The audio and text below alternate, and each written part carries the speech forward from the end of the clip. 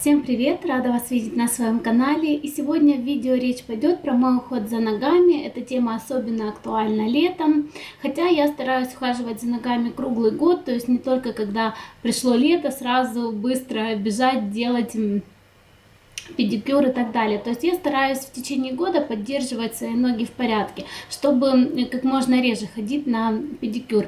У меня программа минимум средств, но мне этого вполне хватает. И плюс я в этом видео вам хочу еще показать свой топовый набор лаков на это лето, которым я пользуюсь, пользовалась и какие лаки я сочетала. Первое средство, с чего начинается мой уход, это скраб для ног. Вот такой у меня скраб сейчас уже где-то половину я использовала. Это аптека 36,6, серия Натура. Э, как бы до этого я не использовала какие-то специальные скрабы, я пользовалась обычным чистая линия, он идеально подходит для того, чтобы э, скрабировать кожу э, ног. Поэтому вот такие вот два средства. Когда этот закончится, я не считаю, что это прям must have, но это был подарок и действительно приятное средство. Но он немножечко даже больше сушит э, кожу ног, чем вот этот вот, например, э, скраб, который абсолютно не сушит. И после него даже можно не наносить крем на ноги. После этого обязательно надо нанести крем на ноги. Я в пустых баночках уже показывала крем для ног из той же серии. Они в дуэте замечательно просто работали, но это этого было больше, поэтому вот где-то у меня столько еще осталось.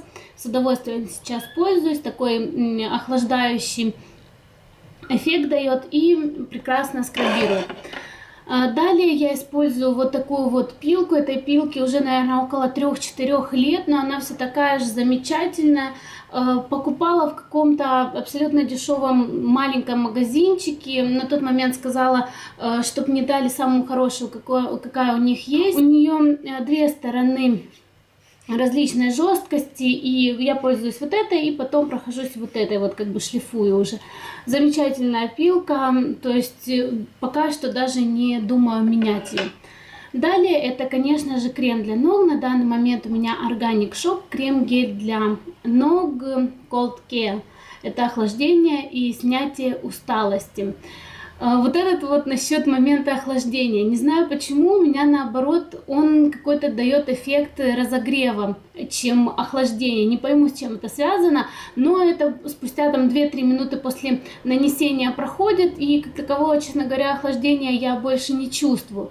Но он действительно такой приятный, им приятно пользоваться, я с удовольствием пользуюсь им каждый день, то есть таким средством, крем для ног, он обязательно должен быть приятным, особенно для меня, потому что в ином случае я просто им пользоваться не буду. Он будет у меня стоять на полочке, так изредка буду пользоваться.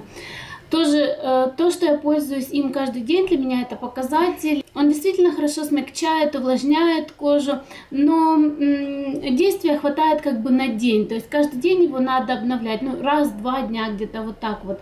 И он абсолютно быстро впитывается, никаких проблем с этих нет, не остается никакой жирной пленки, неприятного ощущения. Поэтому я бы советовала вот этот крем. Как видите, у меня самый маленький набор средств по уходу за ногами, но именно они мне помогают сохранить свои ноги в хорошем состоянии, то есть чтобы они всегда были увлажнены, чтобы они были отшлифованы хорошо и чтобы не было никакой стянутости и неприятных ощущений. И далее я вам покажу лаки, которые я использовала в течение этого лета, которыми продолжаю пользоваться именно для педикюра.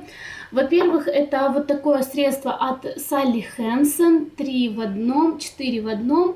Оно намного хуже, чем средство от умной эмали 3 в одном, поэтому я его использую для ног, и э, использую потому, что все лаки, которые вы, вы увидите, они яркие. И поэтому, чтобы они не оставляли такой желтый налет на ногтях, э, я использую вот как базу. Топовое покрытие я не использую для педикюра. Далее два э, лака от Eye, которые я комбинирую между собой. Обычно я в последнее время не делаю педикюр просто с одним лаком. Я обычно делаю комбинацию двух-трех э, цветов. Вот эти вот хорошо подходят лаки. Я напишу название э, под видео. Один розовый, один такой морковно-красный. Красивые лаки. И поэтому очень нравится на лето. Далее два лака, которые тоже люблю комбинировать, это Вот такой от Eveline Happy Colors. Называется такой мятный оттенок. Я его абсолютно случайно увидела на э, витрине, когда уже покупала, не на витрине, а возле кассы, по-моему, он был. И я его просто так положила в корзинку, и как бы он мне понравился. Но чтобы добиться такого цвета, надо, естественно, три слоя, где-то два-три слоя, вот так вот. Но, принципе, за ту стоимость, которую он стоил, я уже не помню, по-моему, 1 доллар. Нормально. И в комбинацию к нему я использую вот прошлогодний свой лак. Это Пупа. Номер у него здесь... Опять же, я напишу все под видео. Вот 506.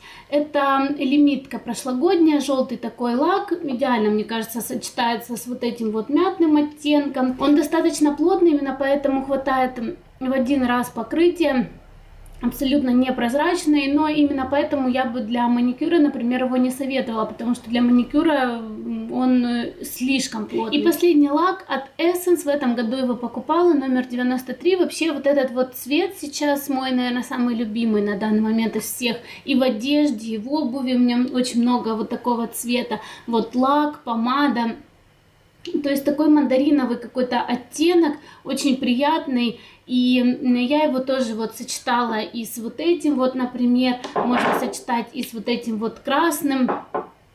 Можно три вместе сочетать, но оттенок э, потрясающий, очень нравится. Два слоя я его наношу для педикюра, потому что в один он просвечивает все-таки. Вот такая программа минимум у меня по уходу за моими ножками. Мне будет очень интересно почитать, может а, вы посоветуете какие-то проверенные уже средства, э, кремы для ног на зиму в том числе уже актуально будет. И спасибо всем за внимание и пока-пока.